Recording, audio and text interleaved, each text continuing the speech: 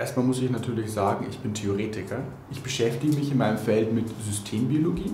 Das ist die Wissenschaft, Interaktionen auf genregulatorischem Level zu beschreiben und in der Molekularbiologie umzusetzen. Professor Fabian Theis arbeitet interdisziplinär. Für seine Erfolge erhielt er einen Starting Grant des European Research Council. Mein ESC-Grant ist angesiedelt im Bereich PE, also Physics and Engineering.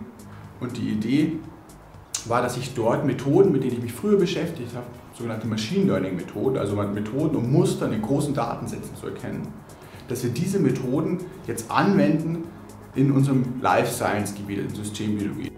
Die Welt besteht aus verschiedensten Systemen. Diese nutzbar zu machen, ist eines der Forschungsziele von Fabian Theis. Ein Netzwerk besteht aus Knoten und Interaktionen. Jeder kennt zum Beispiel Facebook, wo die Knoten Personen, die Interaktionen die Freundschaftsbeziehungen sind. Wir möchten jetzt das Gleiche in der Molekularbiologie machen. Zum Beispiel sind bei uns die Knoten, dann die Gene und die Interaktionen deren Regulation.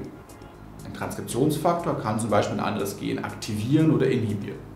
Ein funktionierendes Netzwerk hat der Forscher auch am Helmholtz-Zentrum München. Aus experimentellen Daten seiner Kollegen errechnet Fabian Theis Gesetzmäßigkeiten.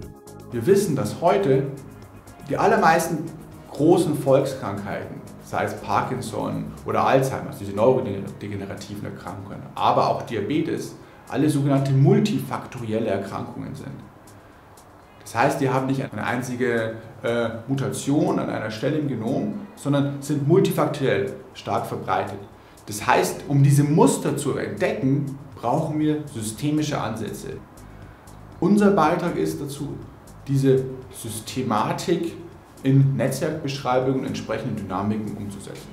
Das heißt also, wenn jemand mal Krankheit versteht als Veränderung in einem Netzwerk, dann fragen wir uns, wo diese Veränderungen angreifen und wie wir diese wieder zurückschieben oder anders verändern können. Große Volkskrankheiten heilen. Dazu trägt Professor Fabian Theis bei.